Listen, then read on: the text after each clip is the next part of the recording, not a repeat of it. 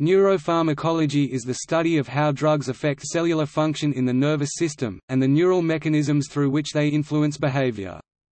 There are two main branches of neuropharmacology, behavioral and molecular. Behavioral neuropharmacology focuses on the study of how drugs affect human behavior neuropsychopharmacology, including the study of how drug dependence and addiction affect the human brain.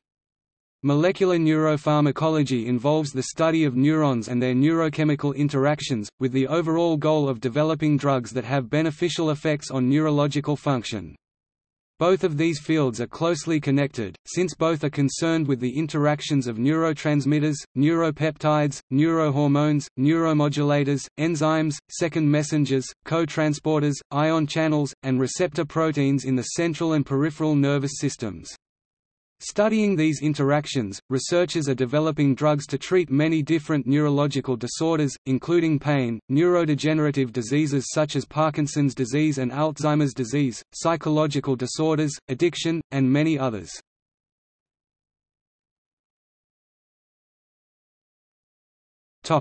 History Neuropharmacology did not appear in the scientific field until, in the early part of the 20th century, scientists were able to figure out a basic understanding of the nervous system and how nerves communicate between one another. Before this discovery, there were drugs that had been found that demonstrated some type of influence on the nervous system. In the 1930s, French scientists began working with a compound called phenothiazine in the hope of synthesizing a drug that would be able to combat malaria. Though this drug showed very little hope in the use against malaria-infected individuals, it was found to have sedative effects along with what appeared to be beneficial effects toward patients with Parkinson's disease. This black box method, wherein an investigator would administer a drug and examine the response without knowing how to relate drug action to patient response, was the main approach to this field, until, in the late 1940s and early 1950s, scientists were able to identify specific neurotransmitters, such as norepinephrine involved in the constriction of blood vessels and the increase in heart rate and blood pressure, dopamine the chemical whose shortage is involved in Parkinson's disease, and serotonin soon to be recognized as deeply connected to depression. In the 1950s, scientists also became better able to measure levels of specific neurochemicals in the body and thus correlate these levels with behavior. The invention of the voltage clamp in 1949 allowed for the study of ion channels and the nerve action potential. These two major historical events in neuropharmacology allowed scientists not only to study how information is transferred from one neuron to another but also to study how a neuron processes this information within itself.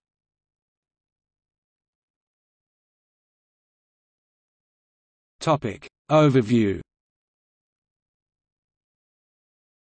Neuropharmacology is a very broad region of science that encompasses many aspects of the nervous system from single neuron manipulation to entire areas of the brain, spinal cord, and peripheral nerves.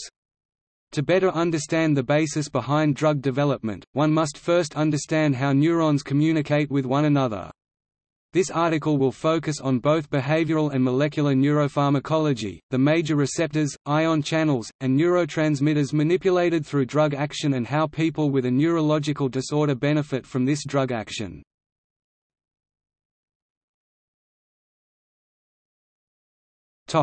Neurochemical interactions To understand the potential advances in medicine that neuropharmacology can bring, it is important to understand how human behavior and thought processes are transferred from neuron to neuron and how medications can alter the chemical foundations of these processes. Neurons are known as excitable cells because on its surface membrane there are an abundance of proteins known as ion channels that allow small charged particles to pass in and out of the cell.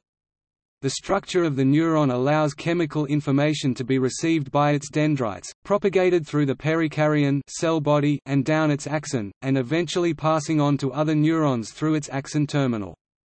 These voltage-gated ion channels allow for rapid depolarization throughout the cell. This depolarization, if it reaches a certain threshold, will cause an action potential. Once the action potential reaches the axon terminal, it will cause an influx of calcium ions into the cell. The calcium ions will then cause vesicles, small packets filled with neurotransmitters, to bind to the cell membrane and release its contents into the synapse. This cell is known as the presynaptic neuron, and the cell that interacts with the neurotransmitters released is known as the postsynaptic neuron. Once the neurotransmitter is released into the synapse, it can either bind to receptors on the postsynaptic cell, the presynaptic cell can re-uptake it and save it for later transmission, or it can be broken down by enzymes in the synapse specific to that certain neurotransmitter. These three different actions are major areas where drug action can affect communication between neurons. There are two types of receptors that neurotransmitters interact with on a postsynaptic neuron. The first types of receptors are ligand-gated ion channels or LGICs. LGIC receptors are the fastest types of transduction from chemical signal to electrical signal. Once the neurotransmitter binds to the receptor, it will cause a conformational change that will allow ions to directly flow into the cell. The second types are known as G-protein coupled receptors or GPCRs. These are much slower than LGICs due to an increase in the amount of biochemical reactions that must take place intracellularly. Once the neurotransmitter binds to the GPCR protein, it causes a cascade of intracellular interactions that can lead to many different types of changes in cellular biochemistry, physiology, and gene expression. Neurotransmitter – receptor interactions in the field of neuropharmacology are extremely important because many drugs that are developed today have to do with disrupting this binding process.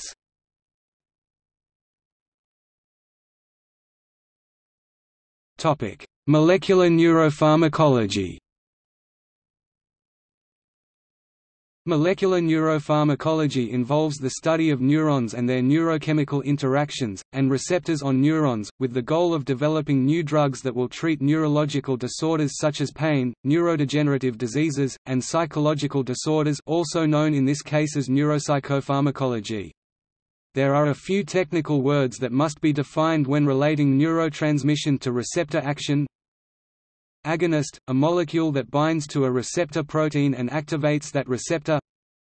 Competitive antagonist, a molecule that binds to the same site on the receptor protein as the agonist, preventing activation of the receptor Non-competitive antagonist, a molecule that binds to a receptor protein on a different site than that of the agonist, but causes a conformational change in the protein that does not allow activation. The following neurotransmitter receptor interactions can be affected by synthetic compounds that act as one of the three above. Sodium, potassium ion channels can also be manipulated throughout a neuron to induce inhibitory effects of action potentials.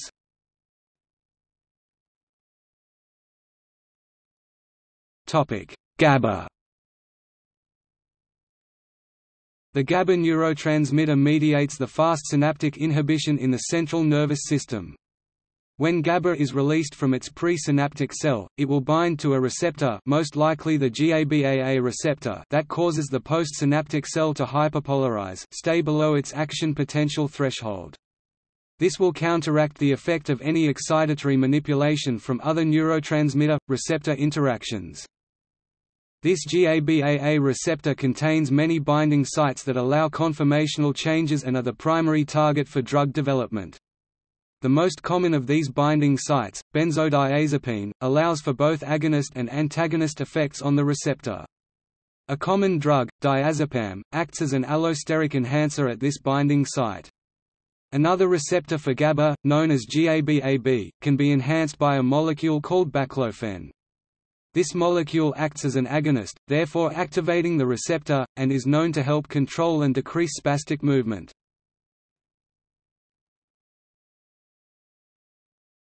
Dopamine The dopamine neurotransmitter mediates synaptic transmission by binding to five specific GPCRs. These five receptor proteins are separated into two classes due to whether the response elicits an excitatory or inhibitory response on the postsynaptic cell. There are many types of drugs, legal and illegal, that affect dopamine and its interactions in the brain. With Parkinson's disease, a disease that decreases the amount of dopamine in the brain, the dopamine precursor levodopa is given to the patient due to the fact that dopamine cannot cross the blood-brain barrier and L-dopa can. Some dopamine agonists are also given to Parkinson's patients that have a disorder known as restless leg syndrome or RLS. Some examples of these are ropinirole and pramipexole. Psychological disorders like that of attention deficit hyperactivity disorder (ADHD) can be treated with drugs like methylphenidate, also known as Ritalin, which block the reuptake of dopamine by the presynaptic cell, thereby providing an increase of dopamine left in the synaptic gap.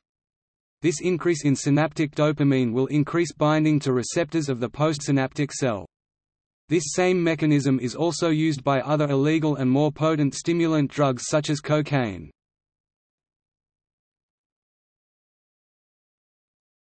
Serotonin The serotonin neurotransmitter has the ability to mediate synaptic transmission through either GPCRs or LGIC receptors.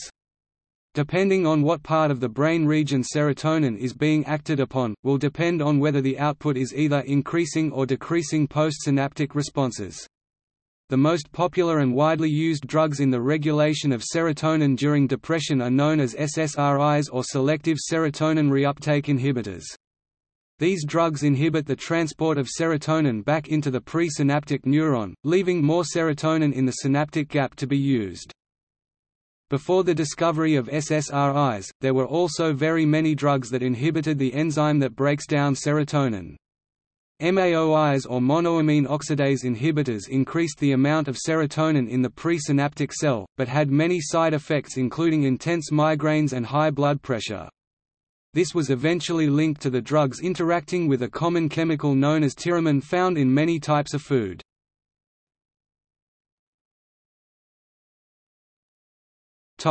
Ion channels. Ion channels located on the surface membrane of the neuron allows for an influx of sodium ions and outward movement of potassium ions during an action potential. Selectively blocking these ion channels will decrease the likelihood of an action potential to occur.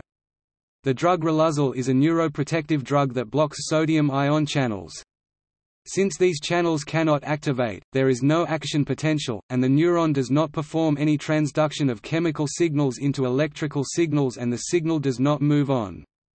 This drug is used as an anesthetic as well as a sedative.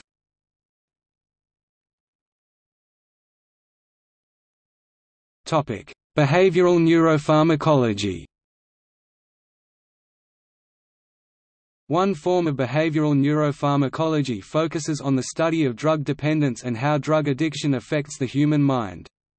Most research has shown that the major part of the brain that reinforces addiction through neurochemical reward is the nucleus accumbens.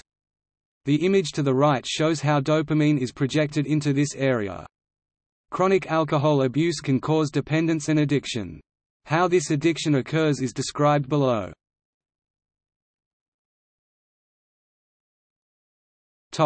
Ethanol Alcohol's rewarding and reinforcing i.e., addictive properties are mediated through its effects on dopamine neurons in the mesolimbic reward pathway, which connects the ventral tegmental area to the nucleus accumbens NACC. One of alcohol's primary effects is the allosteric inhibition of NMDA receptors and facilitation of GABAA receptors e.g., enhanced GABAA receptor-mediated chloride flux through allosteric regulation of the receptor. At high doses, ethanol inhibits most ligand-gated ion channels and voltage-gated ion channels in neurons as well. Alcohol inhibits sodium-potassium pumps in the cerebellum and this is likely how it impairs cerebellar computation and body coordination. With acute alcohol consumption, dopamine is released in the synapses of the mesolimbic pathway, in turn heightening activation of postsynaptic D1 receptors. The activation of these receptors triggers postsynaptic internal signaling events through protein kinase which ultimately phosphorylate CAMP response element binding protein (CREB), inducing CREB-mediated changes in gene expression. With chronic alcohol intake, consumption of ethanol similarly induces CREB phosphorylation through the D1 receptor pathway, but it also alters NMDA receptor function through phosphorylation mechanisms. An adaptive downregulation of the D1 receptor pathway pathway and CREB function occurs as well. Chronic consumption is also associated with an effect on CREB phosphorylation and function via postsynaptic NMDA receptor signaling cascades through a MAPK, ERK pathway and CAMK-mediated pathway. These modifications to CREB function in the mesolimbic pathway induce expression i.e., increase gene expression of delta FOSB in the NACC, where delta FOSB is the master control protein that, when overexpressed in the NACC, is necessary and sufficient for the development and maintenance of an addictive state i.e., its overexpression in the nucleus accumbens produces and then directly modulates compulsive alcohol consumption.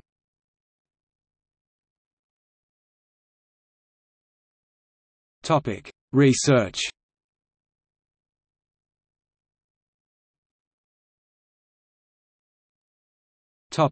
Parkinson's disease Parkinson's disease is a neurodegenerative disease described by the selective loss of dopaminergic neurons located in the substantia nigra.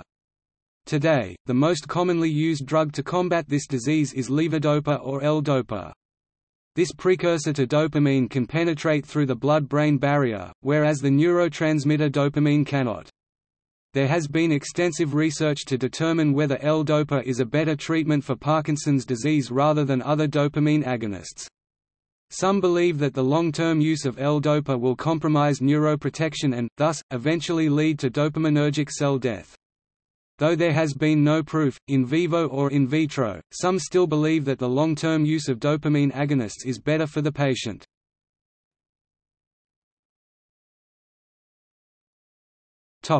Alzheimer's disease While there are a variety of hypotheses that have been proposed for the cause of Alzheimer's disease, the knowledge of this disease is far from complete to explain, making it difficult to develop methods for treatment. In the brain of Alzheimer's patients, both neuronal nicotinic acetylcholine receptors and NMDA receptors are known to be down-regulated.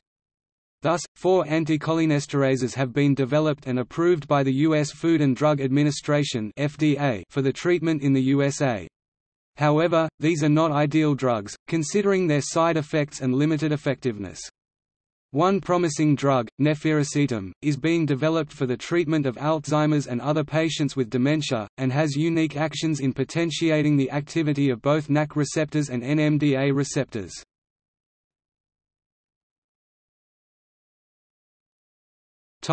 Future With advances in technology and our understanding of the nervous system, the development of drugs will continue with increasing drug sensitivity and specificity. Structure-activity relationships are a major area of research within neuropharmacology, an attempt to modify the effect or the potency i.e., activity of bioactive chemical compounds by modifying their chemical structures. See also